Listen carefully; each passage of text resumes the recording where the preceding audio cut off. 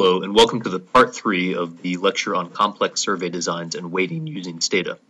My name is Chris Curran, and I'm an assistant professor of public policy at the UMBC School of Public Policy. This lecture is part three of a three-part series that demonstrates how to deal with complex survey design in large-scale data using the statistical programming language Stata.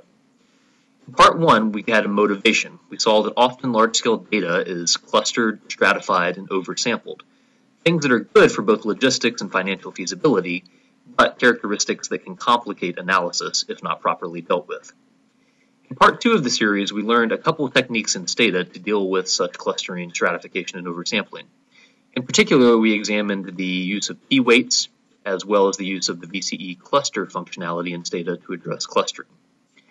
In part three, we're going to examine a combined way of doing this, a more proper way through the survey set commands in Stata.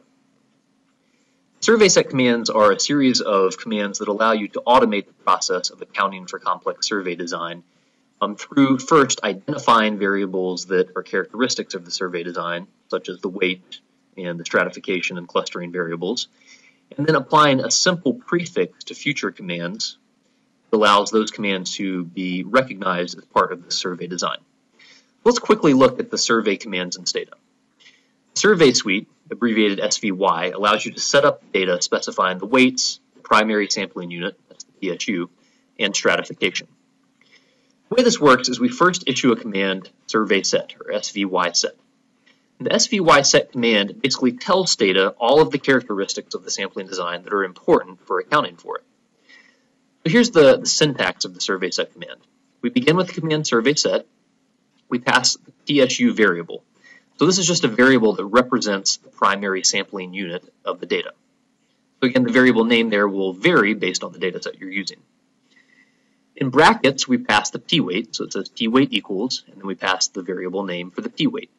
That's Similar to what we were doing with the mean command before when we were just using weighting. We then include a comma, and in Stata this would all be on the same line, but in virtue of being a PowerPoint here, it's rolled over to a second line put a comma and then the, uh, the argument strata, where in parentheses we pass a variable that represents the different strata that that observation aligns with. We then have a few other options, VCE linear and single unit center. Um, these options are a little less important. If you want to dig into the help profile for survey set, you can learn more about the different options here as well as the functionality of these. Suffice to say that VCE linear is simply telling Stata kind of the, the statistical tests and the process by which to run some of the background calculations, where single unit center is telling Stata what to do in the case of strata that only have a single observation. So again, there's some different options there that you're more than welcome to explore and learn about, but kind of as a default, VCE linear and single unit center are um, places that you can use as a jumping off point. So what would this look like in actual data? Well, here's the syntax with variables inserted. So again, I begin with the command survey set, I pass it a variable for the PSU. In brackets, I pass it the variable for the p-weight. I then have a comma, and in the strata option, I include the variable that represents the strata that that observation aligns to. And then again, I have the VCE linear and single unit centered options specified as well. Let's move to Stata and actually see some of that in action, as well as see what it does when we run estimates. I'm going to open my Stata windows. On the left, I have my do file editor, and on the right, I have my output window. Again, I'm using data from the ECLS dataset, which is data on kindergarten students from the 2010 school year. We've used this data previously in several other videos, as well as the first two parts of this segment series. But to begin with, uh, in my do file editor, I have the survey set command. So I've added a comment that says survey set the data. The command survey set, which you can see turns blue, so Stata recognizes it as a command. I pulled a PSU variable, I pulled the weight, and I pulled the strata variable. And I just used the same syntax that I demonstrated in the PowerPoint slide. Now if I was to highlight this line of code and run it, we'll notice some output in the Stata window.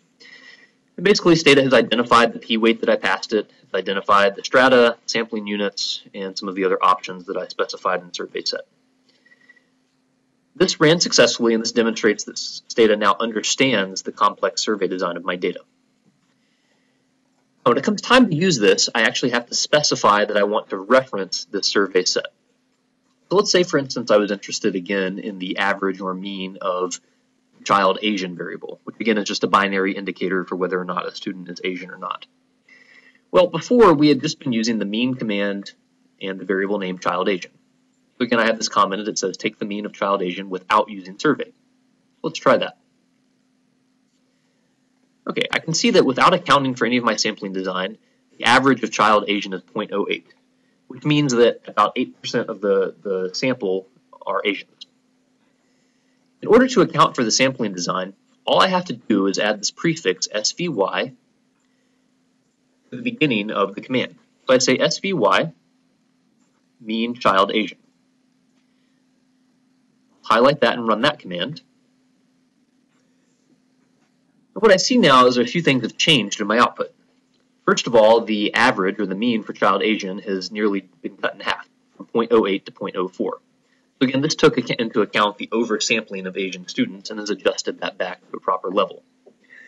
You'll also notice that my standard error has gone from 0.002 to 0.007, almost four times as large. And this reflects the fact that in the data, there is clustering of students or non-independence between observations. In my naive estimate up here, where I just ran the command mean child Asian, Stata interprets this as a random sample, or interprets it as independence between all the observations. And because of that, the standard error is artificially low.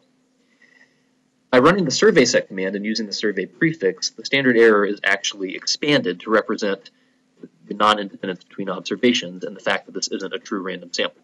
And what that essentially does is it introduces more uncertainty into my estimates. So you notice not only has the standard error grown, but if I was to also look at the 95% confidence interval between these two runs, I see that my 95% confidence interval has now expanded, which of course is what we would expect with a larger standard error. So this is important because it means that not only could my mean be incorrect if I didn't account for survey setting, but also statistical tests about whether this is different than zero, or as we get into regressions, whether effects are actually statistically significant, could be altered or perhaps misstated if I had not taken into account the survey design. So once the data survey set, I'm then ready to use the SVY command throughout the rest of my code. So if I was interested instead of child Asian in child white, I simply type svy in the command mean child white and highlight and run. And I'm able to get estimates of variable child white that account for the sampling design. Likewise, when it comes time to run a regression, I can put the svy prefix before the regress command and also account for the survey design and sampling design in my regressions. So, when you think about dealing with complex survey design and sampling, the proper way is to use the survey set command. It's more robust and uh, more proper than just using p-weights on their own or the clustering option on its own. SurveySet combines both of those while also doing some other accounting for the survey design provides the estimates that are most properly accounted for um, in virtue of the design of the sample. So this ends the, the part three lecture on Stata designs for complex sampling. I hope this has been helpful for you as you think about how to account for the survey design of large-scale data that you're using.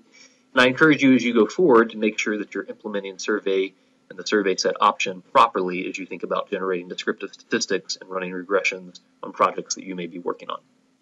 So I thank you for your time and attention to this, and I look forward to chatting more later.